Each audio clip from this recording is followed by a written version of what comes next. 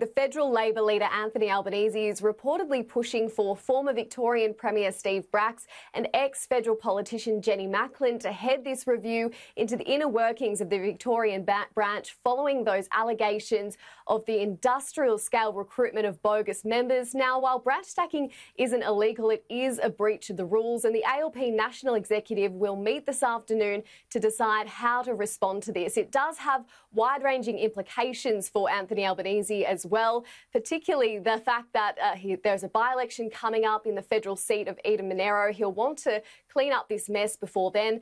In video aired by 60 Minutes, Mr. Somyurek claims to have an influence over Mr. Albanese, something he strongly denies. Well, it's just not true. Uh, he uh, is someone uh, I've barely met. And, and the fact is, what, what's concerning here, Lee, is that when you have uh, branch stacking and a distortion essentially of, of outcomes, and it does need to be stamped out. Allies of the family of an Australian man, meanwhile, who is facing the death penalty in China, have commented on his sentence. So, what did they have to say? Yeah, that's right, Pete. The family of Karm Gillespie have broken their silence for the first time following his uh, he, Following the fact he was given the death sentence in China last week, it's prompted speculation about whether his sentence could be politically motivated given the current heightened tensions with Beijing. Now, both the government and the Chinese Foreign Ministry say this is not linked to bilateral tensions.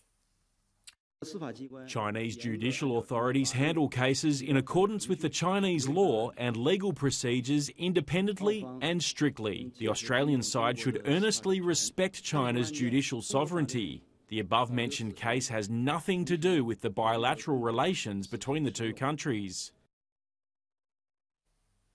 Pete, Mr Gillespie's family has also called for an end to this conjecture. In a statement through DFAT, they say they're very saddened by the situation. We request that friends of Karm refrain from speculating on his current circumstances, which we do not believe assists his case. Pete, there's still a lot of work happening behind the scenes to try to achieve a better outcome for Mr Gillespie.